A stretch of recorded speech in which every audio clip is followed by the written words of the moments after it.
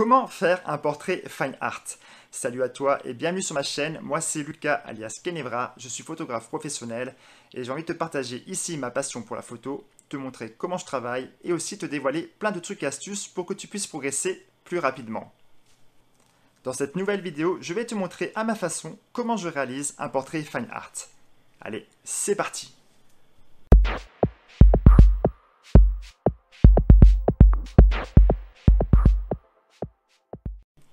La question que l'on peut se poser avant de commencer, c'est tout simplement, c'est quoi un portrait fine art?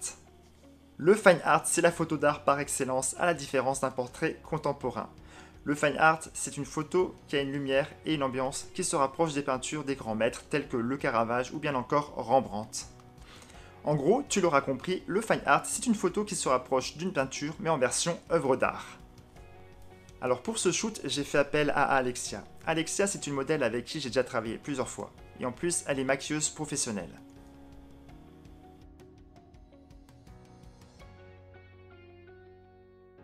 Tiens, je te laisse son Instagram, n'hésite pas à la suivre.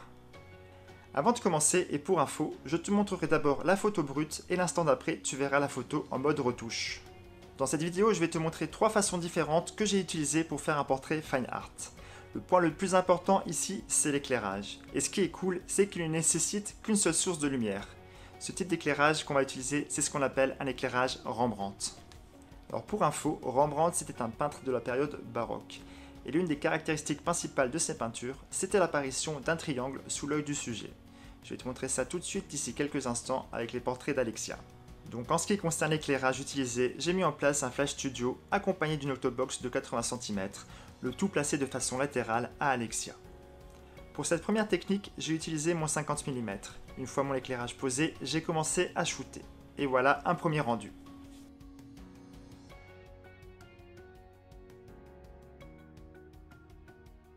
Comme tu peux le voir, l'éclairage est placé sur la gauche, et l'on voit le fameux triangle qui se dessine sous l'œil d'Alexia dans la partie ombragée. Maintenant, je vais te montrer comment je fais sur Photoshop pour donner ce rendu peinture. Alors juste avant de passer sur Photoshop, je vais te montrer quelques textures qu'il est intéressant euh, d'utiliser justement pour faire du, fine art. Et ça c'est des textures que j'ai euh, trouvées sur Google. Donc moi je t'invite fortement, si par la suite tu veux faire ce type de photo, mais même pour toi, d'avoir une, euh, une galerie avec différents types de textures que tu pourras réutiliser pour tes retouches.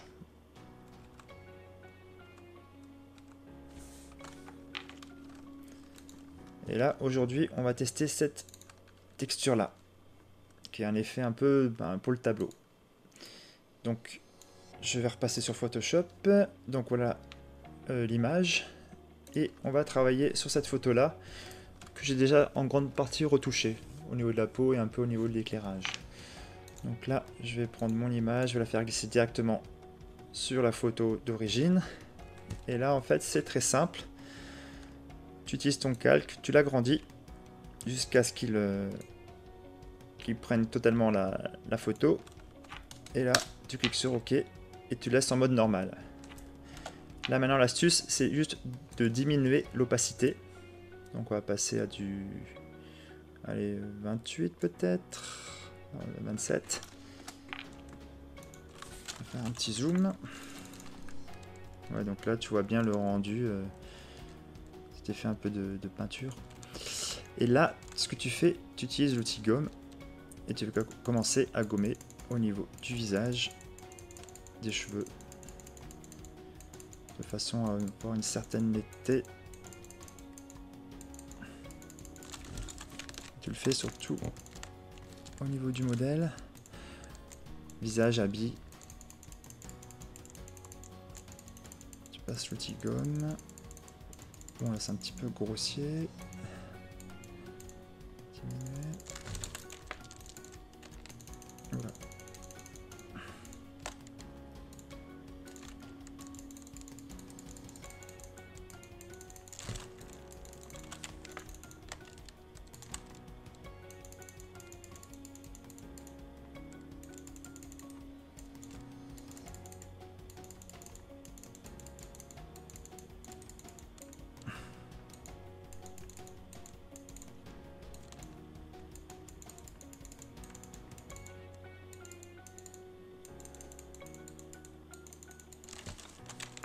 Et ensuite, ce que tu fais, tu vas passer en mode filtre, flou, flou gaussien.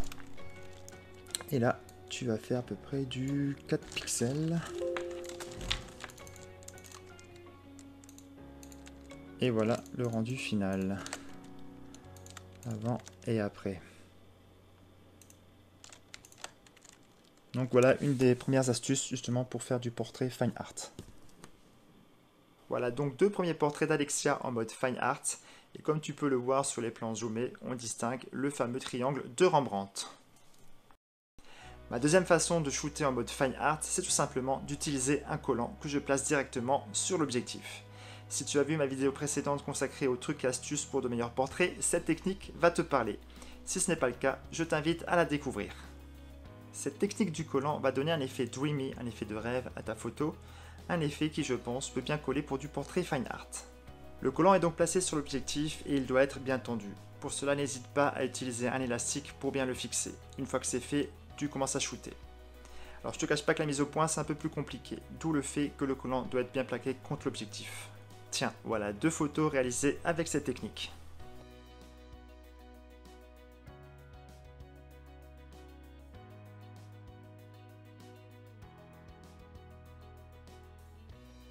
Enfin, je vais te montrer un nouvel accessoire que j'ai utilisé pour la première fois et qui donne un effet vraiment cool. Alors honnêtement, je ne sais pas si les prochains clichés que je vais te montrer sont considérés comme du portrait fine art, mais je tenais quand même à te montrer ce nouvel accessoire qui est vraiment sympa. Ici, j'ai utilisé mon objectif 70-200 sur lequel j'ai placé un filtre un peu spécial. Comme tu peux le voir sur la vidéo, ce filtre est divisé en trois parties, deux parties optiques et une partie sans verre, qui vont permettre d'obtenir ce genre d'effet.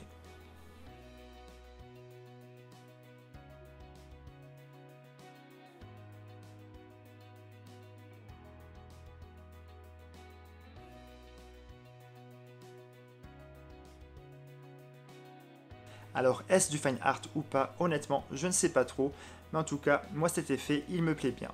Et pour info, ce filtre, je l'ai trouvé sur AliExpress au prix de 16 euros, frais de port compris. Je t'en reparlerai très prochainement dans une nouvelle vidéo. Alors qu'est-ce qu'on a vu ensemble pour faire un portrait fine art? Eh bien c'est très simple. Le point le plus important est qu'il te faut une seule source de lumière pour créer cette ambiance qu'on appelle un éclairage Rembrandt. Alors tu peux soit shooter avec un flash studio comme c'est le cas ici, ou bien essayer de trouver une source de lumière naturelle comme une ouverture de fenêtre par exemple. Mais n'oublie pas que l'un des points les plus importants, c'est ton éclairage qui doit être placé de façon latérale à ton modèle dans le but d'obtenir ce fameux triangle de Rembrandt. Ensuite, tu peux faire différentes variations pour un peu plus d'originalité, comme utiliser la technique du collant ou bien encore utiliser le filtre pour obtenir ce rendu de flou. Tiens, je te remontre vite fait les 7 photos que j'ai réalisées avec Alexia durant cette séance.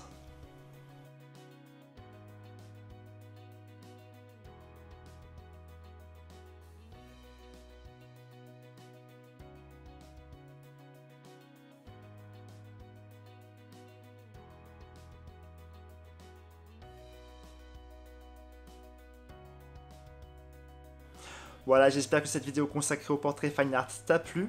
Comme dit, je te montre à ma façon comment je travaille. Ensuite, tu prends ce que tu veux. Tant que cela t'aide à te perfectionner, c'est le plus important. Autre info qui peut peut-être t'intéresser, je mets dans la description le matériel que j'utilise. Et en cadeau, je t'offre aussi un code promo pour le logiciel Luminar. Alors Luminar, c'est un logiciel que j'utilise en complément de Photoshop, notamment pour la retouche de peau, car il est vraiment top. Bref, je te remercie d'avoir regardé jusqu'au bout cette vidéo. N'hésite pas à me laisser un petit pouce bleu, à partager et aussi à t'abonner. Je te dis à très bientôt pour une nouvelle vidéo. D'ici là, prends soin de toi. Allez, ciao